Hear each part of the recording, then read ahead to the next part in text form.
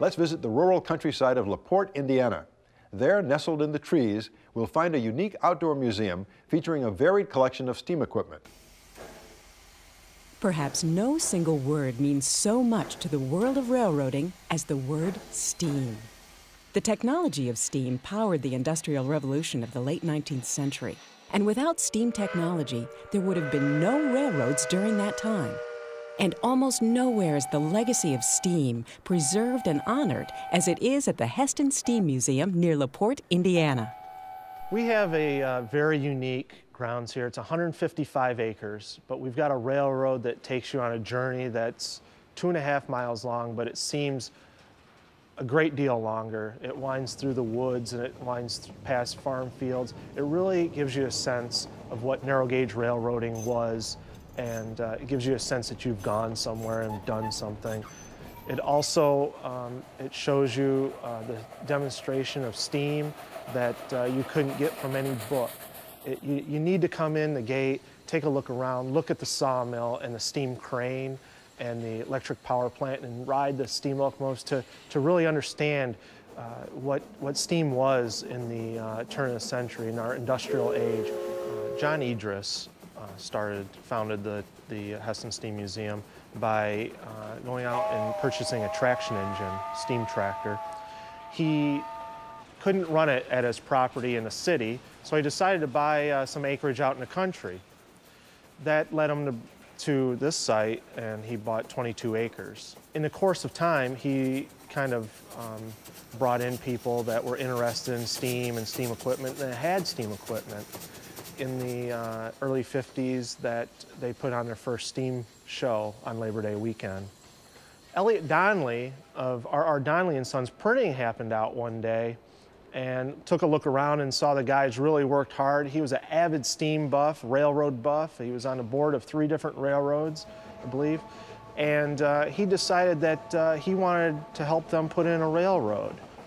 He put in a very unique three foot and two foot gauge, dual gauge narrow gauge railroad and, and started buying uh, locomotives and rolling stock to donate to the organization.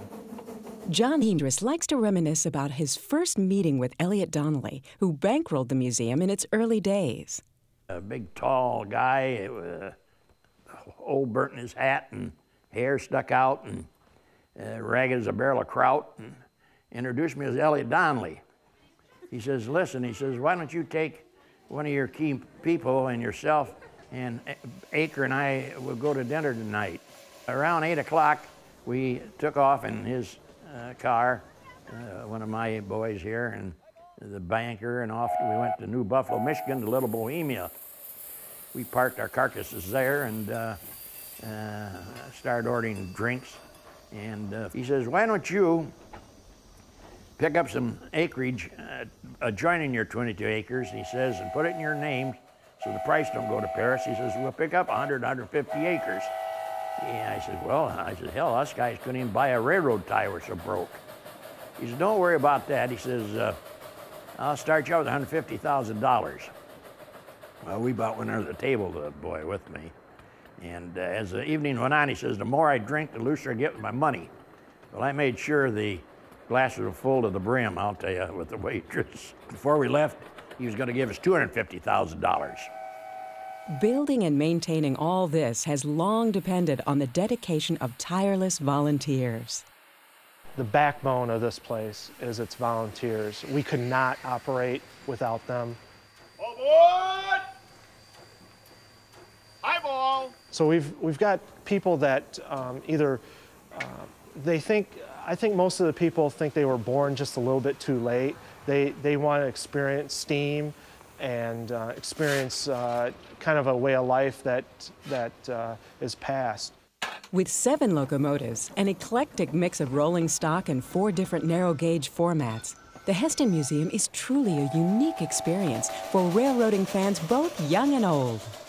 We've got a two foot and three foot narrow gauge railroad, which is the, one of the most unique railroads in the world.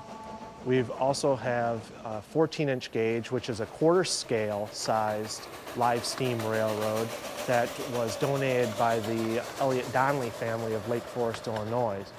The inch and a half uh, railroad, the little trains as we call them, are uh, basically built by the fellows that run them. And uh, they've got about a mile of track and it, it goes underneath a bridge and back over it. It's quite a beautiful trip. Narrow gauge is probably the most rare of uh, any type of uh, train. Standard gauge, you can you can find passenger cars, cabooses, locomotives, but narrow gauge is really was really specialized, and there is a whole lot of it that was scrapped for the war effort or just plain wore out. One of the locomotives, the CSK, which we call it, is uh, built in Czechoslovakia in 1940 for the war for the German war effort. When the Nazis invaded Czechoslovakia, they hid the locomotive in a straw stack, and there it sat through the whole war. This wonderful mix of railroading technology contrasts and cooperates beautifully with the splendors of the museum's natural surroundings. We've got 155 acres that our railroad uh, runs through, and it's very secluded, it's out in the country, and it just makes for a wonderful ride on the train as you, as you go through these uh, hills and uh, see these, these beautiful uh, oak trees and, and, and and it's it's just such a uh, such a trip back in time. So you kind of forget about your life and, and kind of uh, get lost in, in the woods and the, uh, the ride. So, if there's any history buff in you at all, your heart would certainly be warmed by a visit to Indiana's Hesston Steam Museum, a down home archive of America's steamy past.